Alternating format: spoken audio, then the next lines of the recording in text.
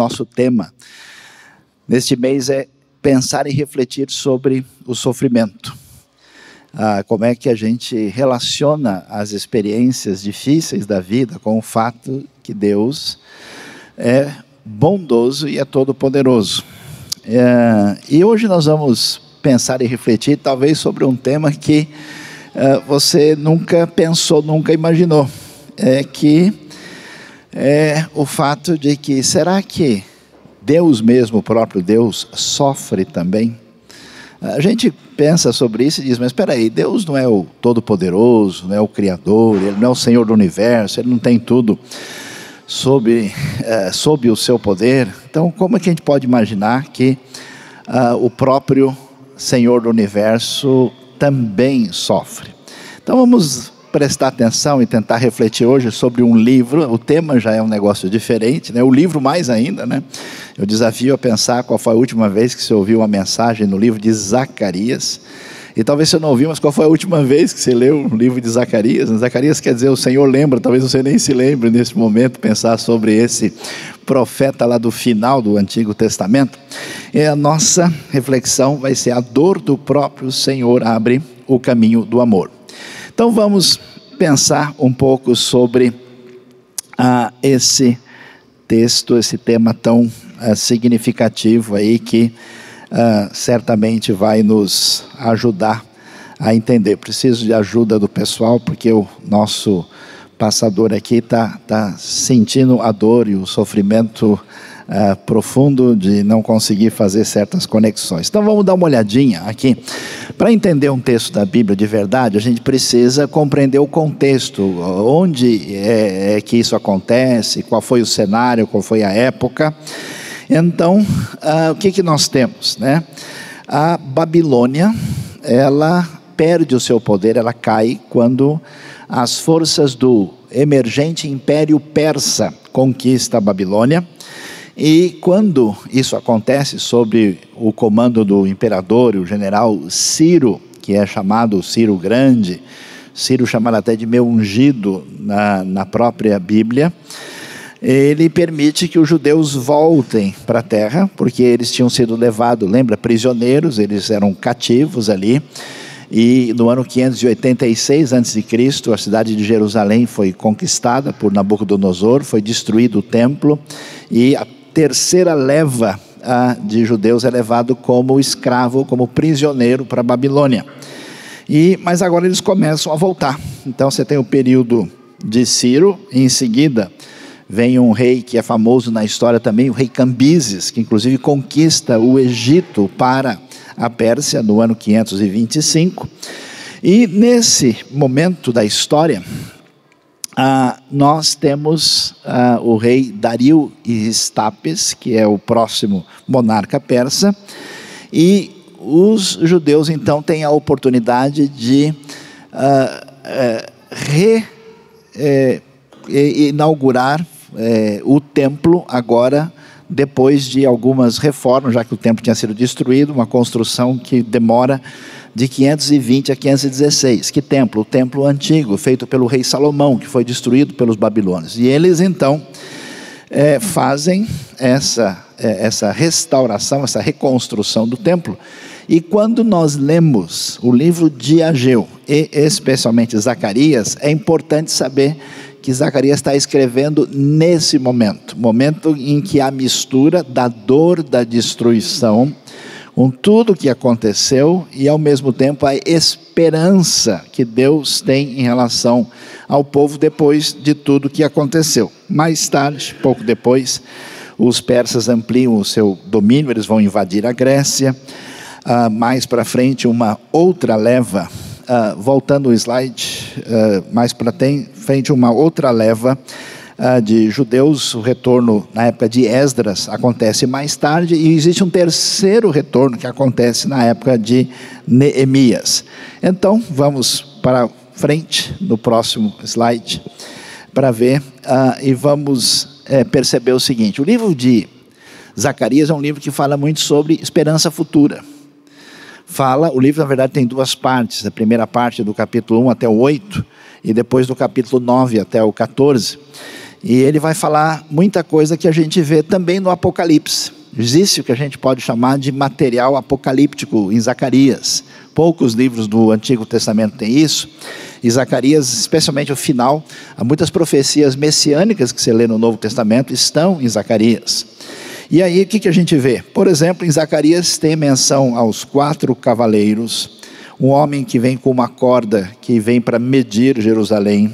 Satanás aparece muito pouco explicitamente no Antigo Testamento, um dos poucos lugares de Zacarias onde ele aparece acusando o sumo sacerdote Josué, no capítulo 3. Temos também uma visão que aparece o candelabro e as duas oliveiras, representando os dois ungidos, que tem a ver com o fato de que você tem rei e sacerdote, que aponta para a figura messiânica, que depois nós vamos ver na pessoa de Jesus. E há uma espécie de manuscrito de rolo que voa, né? e ele fala de uma maldição que cai sobre a terra ah, e você olha ah, no livro do Apocalipse, você vê quatro cavaleiros no capítulo 6, um homem que vai medir o monte do templo com uma vara. Satanás aparece como acusador dos irmãos. Também temos o candelabro com duas oliveiras, representando duas testemunhas no capítulo 11. E os selos de um rolo, algumas versões traduzem por livro, né? sabe que livro, como nós temos, é uma coisa mais recente, antigamente era né? aquele manuscrito comprido que era enrolado, então nós temos aí, não entenda rolo confundindo com outro tipo de rolo que você já ouviu por aí, né? Uh, trazem uh, juízo sobre a terra também. Então há um paralelo, uma relação de muita proximidade sobre uh, os dois. E indo adiante, nós vamos então ver aí ah, como é que o livro se organiza, tá vendo? É dividido em três partes. Primeiro, nós temos oito visões no livro de Zacarias. Ah, dos quatro cavaleiros, chifres e artesãos, a corda de medir, o sacerdote Josué, Zorobabel e o candelabro, o rolo que voa, a mulher e o cesto e quatro carruagens. Depois de ouvir isso, você fala: caramba, eu preciso ler mais a Bíblia. Nem sabia dessas coisas que aparecem aí no livro de Zacarias. Aí nós temos capítulo 7, 8, onde tem duas palavras, advertências, oráculos, que falam sobre a chamado de Deus ao povo para a prática da justiça e uma promessa de restauração de Jerusalém. Aí você vai entender o contexto, por que essa promessa faz tanto sentido? Porque Jerusalém acabou de ser destruída, arrasada pelos babilônios e está exatamente no início dessa etapa de reconstrução. Uma coisa interessante em Zacarias é que ele tem as datas muito exatas, que a gente vai ver juntamente com o livro de uh, Ageu também. E depois você tem uh, dois uh, oráculos propriamente ditos, né, que são mensagens mais de peso, que aparece no começo do capítulo 9, envolve capítulo 9, 10 e 11, quando fala-se dos julgamentos dos inimigos de Israel, até por causa dessa questão que a gente vê aí do que aconteceu com a Babilônia, e finalmente a vinda do Senhor. Esses capítulos têm várias profecias ligadas à vinda do reino do Messias. Lembra a profecia de Jesus entrando com o jumentinho em Jerusalém? É exatamente daí. A profecia é que quando o Messias chega, os seus pés tocam o Monte das Oliveiras. Aparece exatamente aqui no livro de Zacarias. E então, essa parte final, capítulos 12 a 14, mencionam e falam sobre isso. Ah, quando nós lemos o livro de Zacarias e aquilo que ele fala do futuro, Existem três tipos de interpretação que aparecem. Uma delas, que é a interpretação, digamos assim, dos estudiosos mais liberais, dizem que nada disso faz sentido muito para o futuro, que tudo se cumpriu na época dos Macabeus, segundo século antes de Cristo, por volta do ano 160, quando houve uma relativa independência dos judeus diante do domínio dos gregos. Mas é muito difícil entender que isso vai se aplicar no texto. A outra é tentar ver tudo que tem ali espiritualizar isso de alguma maneira relacionar diretamente com Cristo e a sua igreja. A dificuldade é que muitos textos ficam sem explicação, muitos detalhes geográficos, muitas coisas específicas ficam soltas e parece uma atitude forçada. A terceira é entender que o texto está dizendo uma realidade factual e que isso vai de fato acontecer no futuro, uh, pelo menos na ocasião daquilo que tem a ver com o reino do Messias, e portanto o texto deve ser visto principalmente de modo literal. E por que que isso faz sentido? Porque presta atenção, veja a palavra de Amós, capítulo 9, que também fala de futura restauração do povo. O que que o texto diz? Trarei de volta Israel, meu povo exilado, eles reconstruirão as cidades em ruínas e nelas viverão. Plantarão vinhas e beberão do seu vinho, cultivarão pomares e comerão do seu fruto. Plantarei Israel em sua própria terra, atenção, para nunca mais ser desarraigado da terra que lhe dei, diz o Senhor, o seu Deus. Como o texto está dizendo que essa ação de Deus para trazer o povo de volta à terra é algo que acontece para nunca mais ser desarraigado. É claro que isso não pode ter sido na época dos Macabeus, porque isso não subsiste.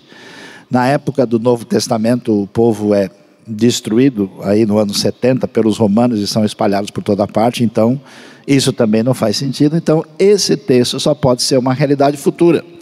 Por isso que faz mais sentido entender que ele se aplica à realidade messiânica final quando Deus vai agir com Israel da maneira em que a gente entende a lógica do texto. Qual é a lógica?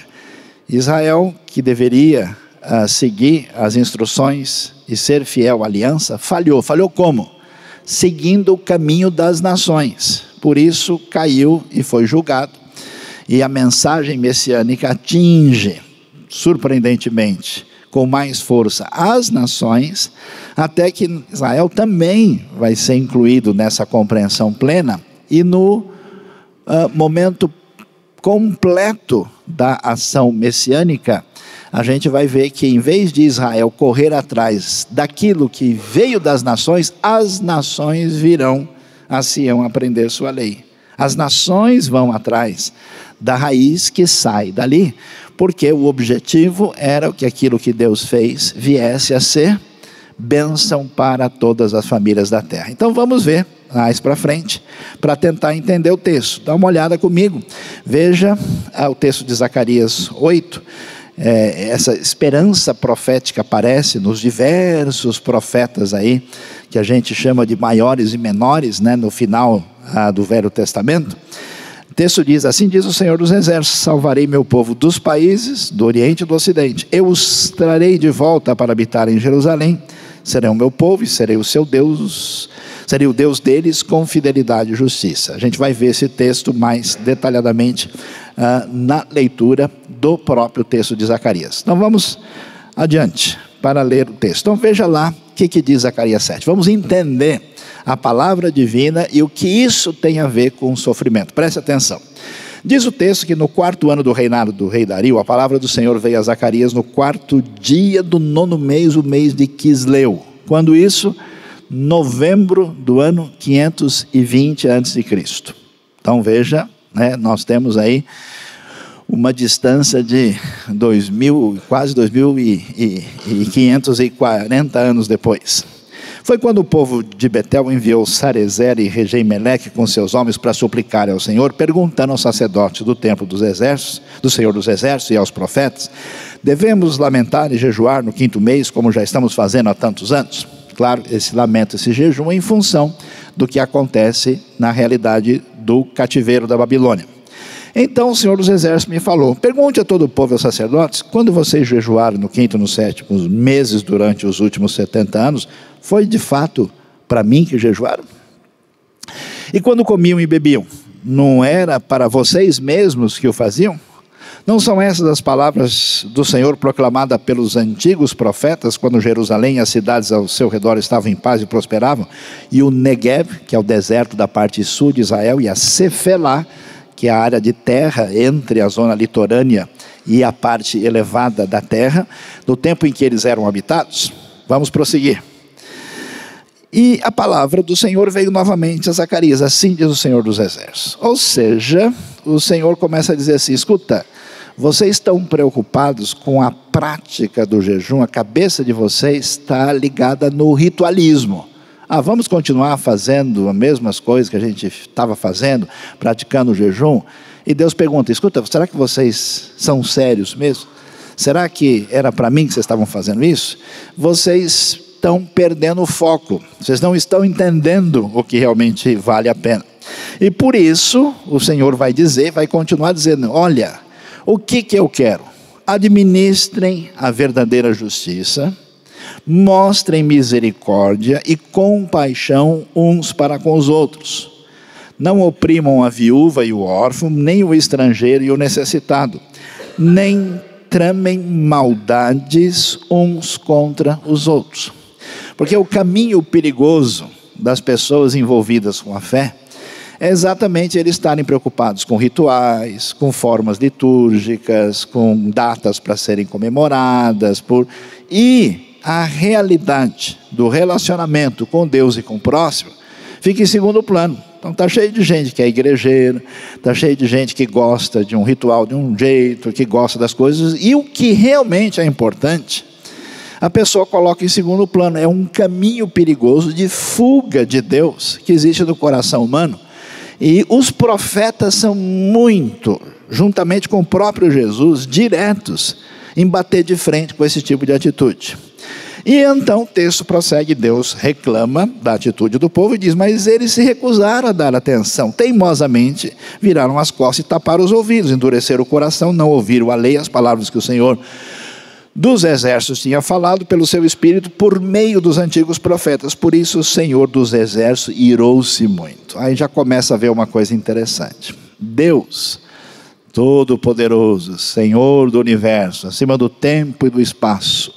Pode ser que quando a gente pense sobre Deus, a gente pense é, nessa dimensão como um Deus que é inatingível em termos de emoções. É, a ideia que muitos é, falam da, de que Deus permanece impassível. Muita gente de igreja não acredita exatamente no Deus da Bíblia. Acredita no Deus de Aristóteles. Aristóteles falava que existia um Deus. Que Deus? É o motor imóvel que a tudo move. Deus é uma espécie de grande gerador de uma máquina do universo e que faz com que todas as coisas funcionem. Tudo está em movimento e em ação. E quando a gente pensa em Deus dessa maneira, quer dizer que Deus não pode ser modificado em nada. E a gente pensa, poxa, a Bíblia fala que o Senhor não muda. Se Deus não muda, ele não pode ser surpreendido por nada, logo ele não sente nada. Exatamente na outra direção que a Bíblia faz. De uma maneira misteriosa, que a nossa mente não consegue acompanhar, Deus é ao mesmo tempo esse Senhor todo-poderoso, que não pode ser atingido por nada, mas se sensibiliza intensamente na relação pessoal com o ser humano e com o seu povo. Tanto é que Deus, por exemplo, por isso que você vai ler textos que parece que não dá para entender, como em Gênesis 6, arrependeu-se o Senhor de ter criado o homem sobre a terra, e isso pesou muito no seu coração. Tradução da NVI cortou o seu coração. A gente vê Deus irado, né? Ele irou-se, e aqui ele aparece, né? Por isso o Senhor irou-se muito. E você vê que Deus fica bravo, fica nervoso. Deus parece assim a mãe, depois de pegar o menino tentando atravessar a rua na hora que o carro estava vindo. Pega pelas orelhas e chega pegando bravo. É forte, é forte o caminho das emoções do eterno.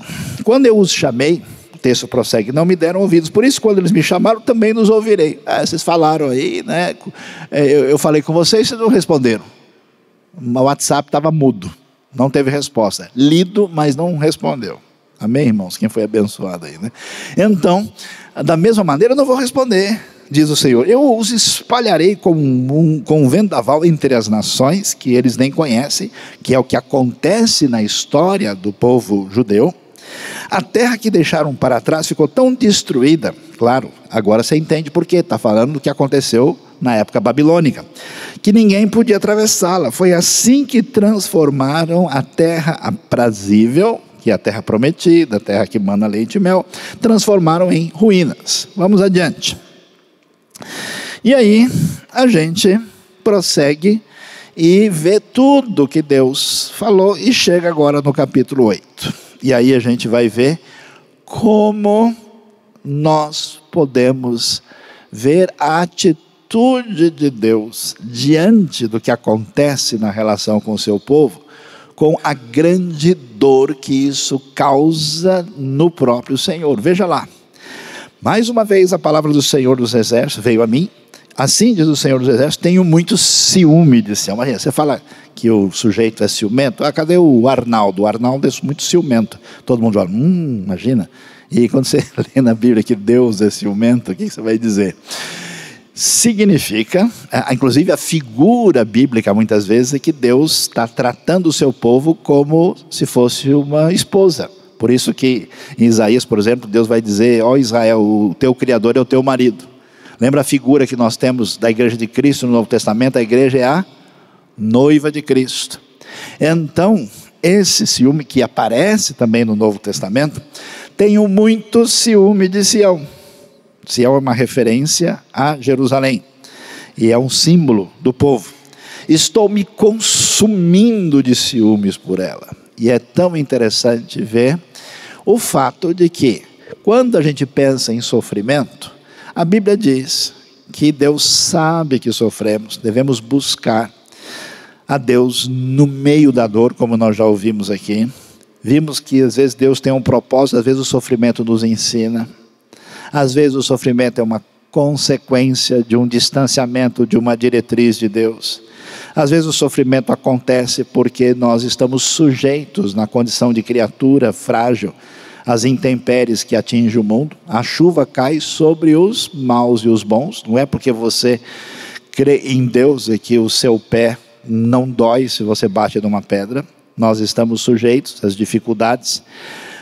Às vezes a Bíblia mostra para a gente que ah, o sofrimento é um mistério que a gente não entende. Deus sabe o que está acontecendo, mas como uma criança, a gente não tem condição de enxergar o quadro todo. É o caso, por exemplo, da experiência de Jó. Mas o que talvez a gente não pudesse imaginar é que Deus Todo-Poderoso sofre também. E é interessante, em Jeremias você vê Deus chorando por causa do povo. É interessante você ver Deus com o coração pesado em Gênesis 6. E aqui você vê Deus indignado, cheio de ciúme. E quem está morrendo de ciúme certamente está sofrendo profundamente por dentro. E essa situação é tão mais é, definida que é exatamente por esse coração que sofre a dor que surgiu a famosa palavra compaixão. O que é compaixão? É paixão tem a ver com padecer, com sofrer dor, e compaixão quer dizer sofrer a dor da pessoa que está sofrendo. Você vê alguém em dificuldade, você é movido no seu coração, e Deus, tantas vezes, diferente de um Deus máquina, diferente de um Deus grego, diferente de um Deus razão, um Deus vivo, Deus real que age na história. Por isso a gente vai entender a caminhada bíblica na direção do Novo Testamento. Essa é a razão principal que no projeto da salvação, da redenção, Deus resolve tomar forma humana e assumir as nossas dores. Não é sem razão que o Novo Testamento enfatiza a realidade de que Jesus chorou.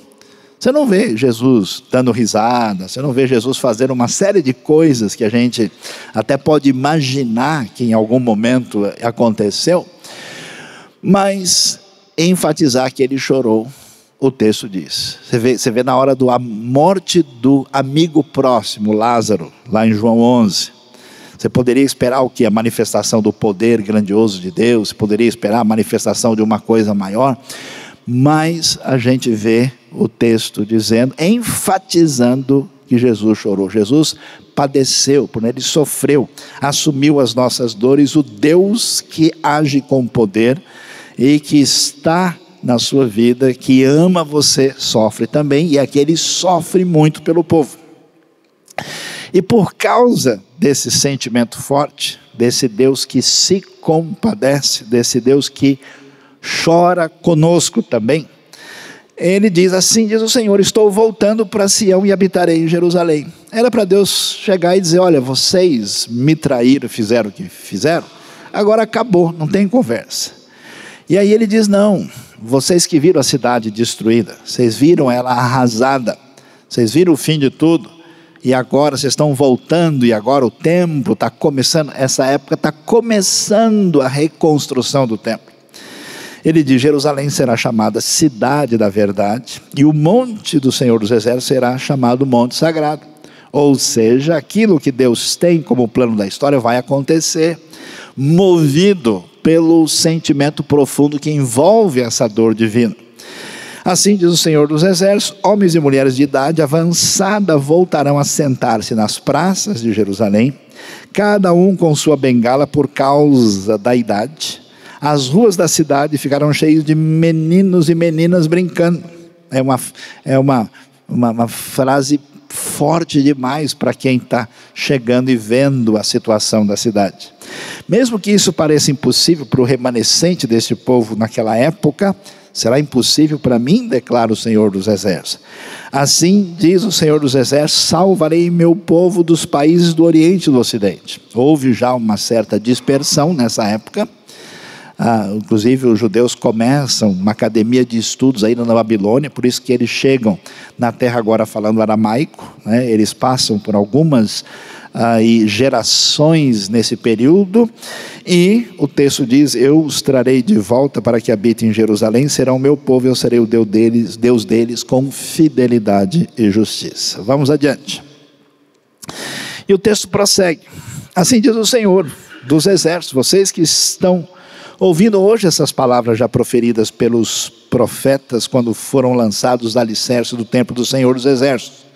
Fortaleçam as mãos para que o templo seja construído. Está vendo? O momento exato dessa reconstrução.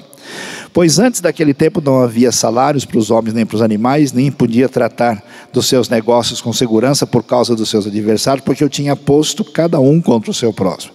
Mas agora não mais tratarei com o remanescente deste povo como fiz no passado, declara o Senhor dos Exércitos. Haverá uma rica semeadura, a videira dará o seu fruto e a terra produzirá suas colheitas, e o céu derramará o orvalho. E darei todas essas coisas como uma herança ao remanescente desse povo. Assim como, olha lá, o foco, assim como vocês foram uma maldição para as nações. Como? O povo recebeu a lei de Deus, conheceu o Deus único e verdadeiro, e recebeu uma missão para que as nações viessem conhecer o Deus único e o seu projeto. E falharam nisso, foram julgados, tropeçaram, na sua maioria nem reconheceram o Messias que veio. No entanto, porque Deus trata você e a mim com a sua graça, também trata Israel dessa maneira, a promessa de restauração se define para o futuro. Ó Judá e Israel, está vendo? Cita os dois reinos, do norte e do sul. Também os salvarei e vocês serão uma bênção. Não tenham medo, antes sejam fortes. Vai chegar o momento dessa restauração causada por essa ação do Deus que sente ciúmes, que sente dor e que sofre e age na sua compaixão em favor do seu povo. Assim diz o Senhor dos Exércitos: assim como eu havia decidido castigar vocês sem compaixão, quando o juízo caiu, quando seus antepassados me enfureceram, diz o Senhor dos Exércitos, prosseguindo no próximo slide. Também agora decidi fazer de novo o bem a Jerusalém e ajudar. Não tenham medo, eis o que devem fazer. E aí é que a coisa está interessante. A pergunta é: diante da realidade que o sofrimento está presente nesse mundo e que a dor atinge a todos, qual é que deve ser a nossa atitude diante disso? Às vezes a gente acha que a nossa atitude deve ser escarafunchar o assunto até ter uma resposta racional completa.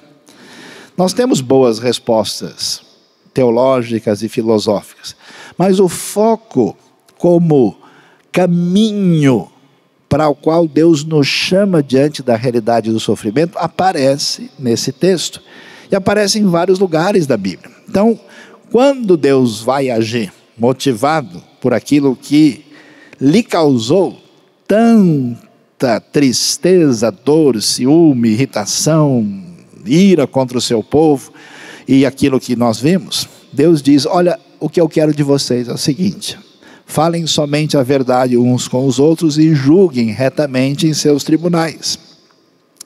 Não planejem no íntimo mal contra o seu próximo e não queiram jurar com falsidade, pois eu odeio todas essas coisas. Ou seja, qual que é a verdade? Grande parte do sofrimento do mundo é causado diretamente pelas pessoas. É muito interessante. Um país entra em guerra contra o outro, movido por os interesses mais escusos possíveis. Um joga bomba na cabeça do outro. Aí o sujeito vem e fala: Deus não existe, porque os caras jogaram a bomba na cabeça do outro. O cara vai lá, resolve atingir o outro, faz o, o mal pela sua própria intenção e de quem é a culpa? Com certeza de Deus, porque ele é que deve ser responsabilizado por isso. Então vejam que o chamado de Deus para quem está sob a sua bênção, a sua aliança, é não façam nada que vai causar mais dor e sofrimento na vida dos outros. Então, quando alguém é falso, quando alguém julga com injustiça, é claro que essa pessoa ela definiu a sua vida de maneira egocêntrica e ela não está nem aí porque vai acontecer com o próximo. Então ela quer tirar a sua vantagem e ela age egocentricamente, sem se importar. Quantas vezes na minha vida, conversando com pessoas, inclusive gente de igreja, eu já ouvi a frase do tipo: estou nem aí. E daí? Ou seja, a minha atitude, que resultado tem? Que consequência tem em relação a quem está próximo de mim, a minha família, o meu amigo, meu irmão, a, a, ao meu irmão em Cristo, a minha atitude, como é que eu faço? Por que, que alguém mente, engana, leva vantagem sobre o outro no negócio? Porque essa pessoa rompeu na sua relação com o outro. Nós somos chamados para fazer diferença, pelo menos em dois aspectos. A gente viu lá quando eles estavam falando, escuta, como é que deve ser o jejum? Vamos continuar jejuando nessa data? A gente vai continuar fazendo o ritual conforme esperado? E a resposta divina é: escuta, vocês acham que eu estou preocupado aí com a data do jejum que vocês estão fazendo? Eu quero que vocês pratiquem a justiça e façam bem. Então, nós temos duas responsabilidades nesse sentido, quando a gente pensa no sofrimento de modo prático. Uma, não causar problema e complicação para ninguém. Deixa de ser enjoado, deixa de ser causador fecha a boca, não se meta, não faça coisa torta, não dê chapéu nos outros, não difame uma pessoa, não levei, levante suspeita indefinida, não haja injustamente. Ou seja, se você colocar o próximo no lugar que ele merece, você está tirando grande parte do sofrimento do mundo. Você está resolvendo um monte de perguntas que as pessoas estão levantando. E o segundo caminho, que aparece no capítulo 7, é o caminho de fazer o bem, de minorar a dor dos outros. Por isso a comunidade do povo de Deus, você viu que o capítulo 7 fala: vocês, como é que vocês lidam com a viúva, com o órfão, com o necessitado, com quem está numa situação de dificuldade. Como é que você faz? Por isso que o, o caminho da comunidade do povo de Deus sempre deve ser um caminho de misericórdia.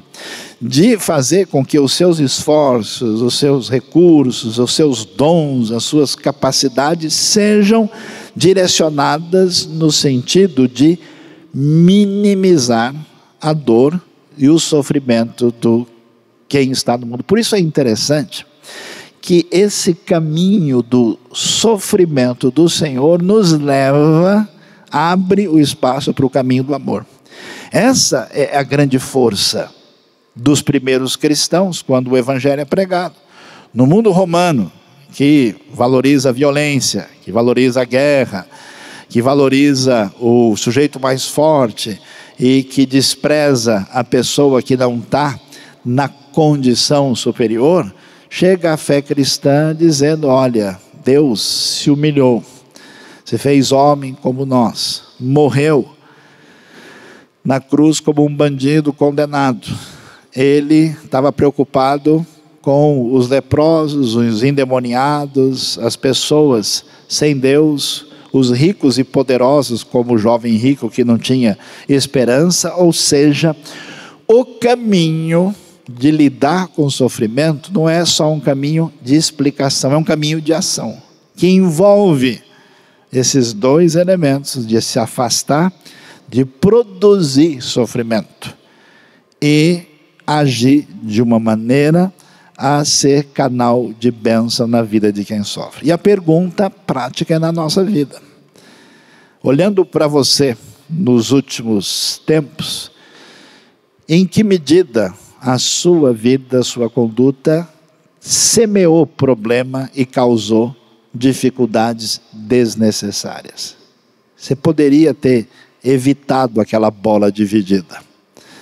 Você poderia ter deixado para lá uma situação em que você resolveu causar, porque sim, essa é a grande explicação teológica das suas ações.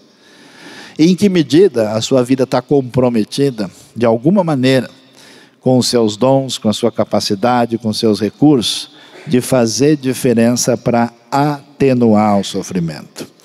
Deus diz: não façam isso, não é esse o caminho, vamos estar em sintonia com o Senhor. E aí o texto prossegue. Mais uma vez veio a palavra do Senhor dos Exércitos a mim, assim diz o Senhor dos Exércitos: os jejuns do quarto mês, bem como os do quinto, do sétimo, do décimo mês, serão ocasiões alegres e cheias de júbilo. Interessante isso, né? jejum é dia de tristeza, e Deus está dizendo: olha, a bênção futura vai chegar e aquilo que, né, lembra de Jesus, né, quando é, o pessoal criticou, como é que os seus discípulos estão sempre aí junto com o Senhor, comendo e se alegrando tal, eles deveriam estar tá com cara séria e fazendo jejum tal. Jesus, ó, quando chegar a hora certa, eles vão fazer, mas agora o reino chegou, está todo mundo em festa.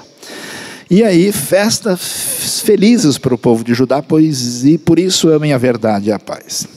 Assim diz o Senhor dos Exércitos: povos e habitantes de muitas cidades ainda virão, e os habitantes de uma cidade irão, e a, outra dirão: Vamos logo suplicar o favor do Senhor e buscar o Senhor dos Exércitos. Eu mesmo já estou indo, e muitos povos e nações poderosas virão buscar o Senhor dos Exércitos em Jerusalém e suplicar o seu favor. O seu favor. Assim diz o Senhor dos Exércitos: naqueles dias dez homens de todas as línguas e nações agarrarão firmemente a barra das vestes de um judeu e dirão: Nós vamos com você, porque ouvimos dizer que Deus está com seu povo.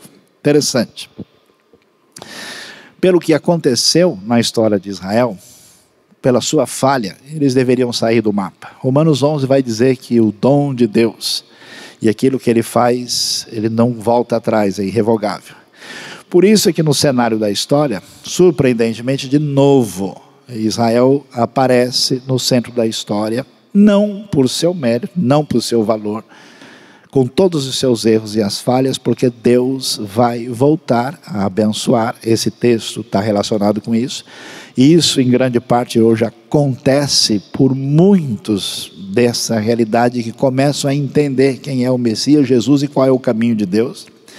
Mas como Israel não é um fim em si mesmo, é apenas o povo por meio do qual Deus resolve agir e trazer a bênção para as nações, então existe essa relação em que as nações, querendo você ou não, a sua Bíblia, o seu Salvador, tudo aquilo que chega a você vem da raiz que um dia começou na ação de Deus na história de Israel. E aí essa promessa aparece futura e nos ensina essa grande lição: que tudo o que Deus faz aqui, faz a partir da sua ação difícil, cheio de ira, de dor, de peso, de ciúme, de sofrimento. Age em favor do seu povo e convoca o seu povo nessa sua ação de redenção a, em vez de ser um povo meramente ritualista, que foi o grande erro uh, no qual eles caíram, de ser um povo que se volta para Deus com uma atitude de não aumentar o sofrimento e a dor e de agir de uma maneira a fazer diferença, atenuando a dor, sendo um povo cheio de misericórdia. Deus abençoe a nossa vida, abençoe o nosso coração nesta manhã. Ah, Feche os seus olhos, nós vamos orar. pedir que Deus nos abençoe e você pense um pouquinho sobre a sua caminhada. No tempo que Deus dá, no recurso que Ele tem te dado, na saúde que você tem, em que medida você precisa vigiar um pouco mais seu comportamento? Em que medida você deve transformar sua vida num caminho associado à compaixão? Se inscreva no nosso canal no YouTube, siga a gente no Instagram e no Facebook e fique por dentro de tudo que está acontecendo. Sou IBNU, vivo o reino.